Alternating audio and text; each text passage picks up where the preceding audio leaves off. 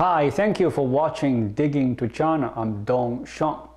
North Korea is battling its worst economic downturn in decades. The regime believes it is imperative to boost morale. How?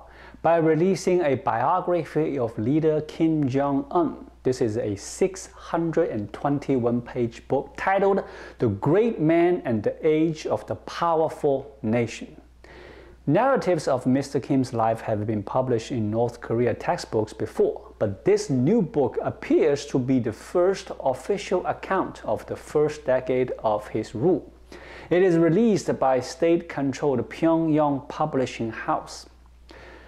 The biography outlines North Korea's policy positions on nuclear weapons and US-led sanctions, but it also champions Mr. Kim's meeting with former President Donald Trump, dedicating 15 pages to their exchanges in Singapore and at Korea's demilitarized zone. The book says this about the 2018 Singapore summit. Dear Marshal Kim Jong un said during his exclusive meeting with the US President that we are at the footsteps of a new beginning. A second Trump Kim meeting a year later in Vietnam, where talks abruptly broke down without a deal, received just a glancing reference. The Kim biography was published December 30th in North Korea, but an online version of the Korean language book accessible outside the Kim regime was recently uploaded by Uriminzokkiri, a Pyongyang-linked propaganda website. The book, which lists no authors, comes as the country is suffering its worst economic downturn in decades, largely owed to lockdowns and border closures ordered by the regime to combat COVID 19. It is to tell North Korean people that we can survive this simply because we are great. The biography contains seven chapters and 17 subchapters, but no photos, nor does it break new policy ground. The book calls the country's nuclear weapons sword of guaranteeing peace. It says that economic sanctions are unjust and joint U.S. South Korean military drills provocative. Nonetheless, the book repeatedly highlights how the ruling Kim's love for the North Korean people is ever prevailing. One tale describes how Mr. Kim once posed for a photo with an ill woman whose life wish had been to meet the country's supreme leader. Unlike depictions of his father and grandfather, Kim Jong un's biography, at least by North Korean standards, adhere to real life events.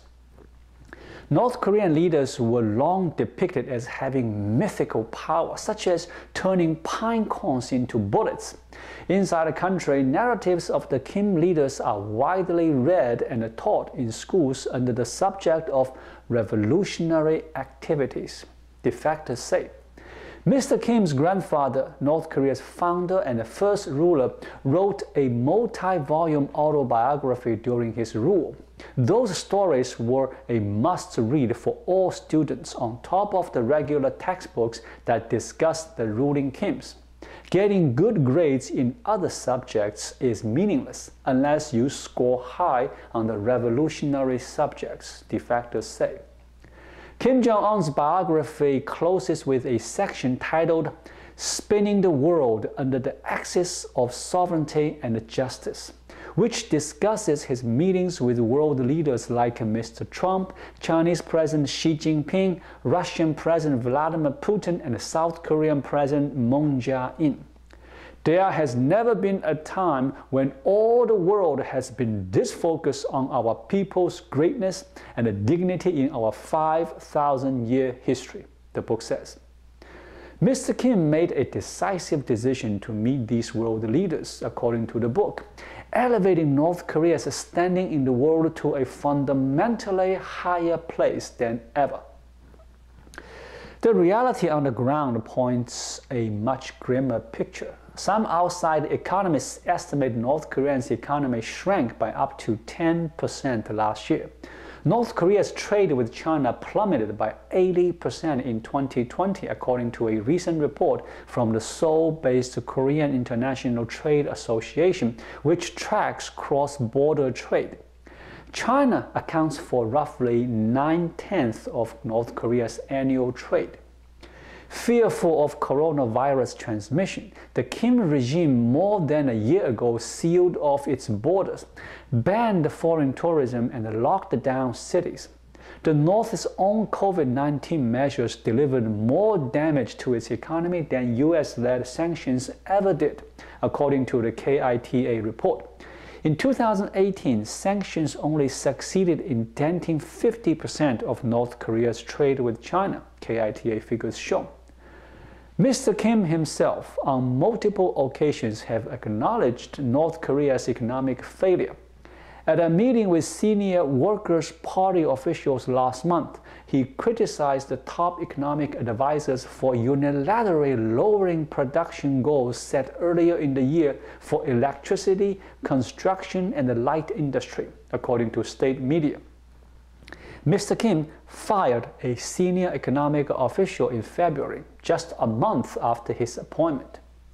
The situation has gotten so dire that basic staples now cost three or four times versus before the pandemic, said Alexander Matsegora, the Russian ambassador to Pyongyang, in an interview published by the Russian news agency Interfax last month. It's a challenge to buy even such basic goods as pasta, flour, vegetable oil, and sugar, and there are no decent clothes or footwear, Mr. Matsegora said. There is a old Chinese saying, when there is no food, you can draw a pancake to suppress your hunger. I guess in North Korea, it is Kim Jong-un's biography. Thank you for watching. Please leave a comment and subscribe to my channel. Just click the subscribe button right here. I'll see you again shortly.